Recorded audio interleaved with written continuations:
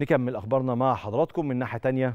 الاتحاد المصري لكرة السلة برئاسة الدكتور مجدي أبو فريخة وافق على طلب النادي الأهلي بمنح بطولة كأس السوبر لموسم 2021 2022 إلى نادي الاتحاد السكندري. مجلس إدارة اتحاد السلة تلقى خطابا من النادي الأهلي يفيد تنازله عن أي حقوق في هذه البطولة وإبداء رغبته في تتويج نادي الاتحاد السكندري ببطولة كأس السوبر. النادي الأهلي أشار في بيانه أن قراره يأتي تقديرا لجماهير نادي الاتحاد السكندري التي تعرضت للإصابة على خلفية سقوط حاملة كاميرات البث أثناء الربع الثالث من اللقاء الذي أقيم يوم 14 ديسمبر الماضي. مجلس إدارة اتحاد السلة أشاد بالنادي الأهلي وموقفه ومن جانبه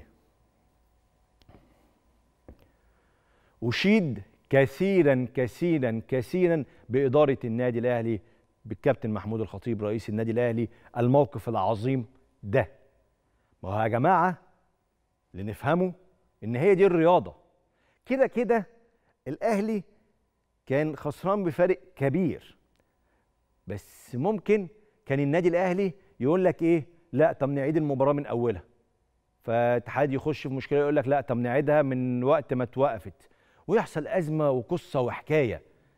نادي الأهلي النادي المحترم النادي المحترم بادر بخطاب لاتحاد السلة وقال له إحنا خلاص خسرنا المباراة ارتضينا بخسارة المباراة.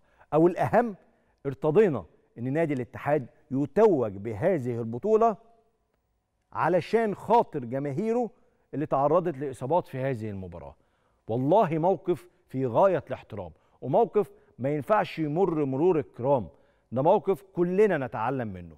موقف يستحق كل التحية لمجلس إدارة النادي الأهلي النشاط الرياضي في النادي الأهلي.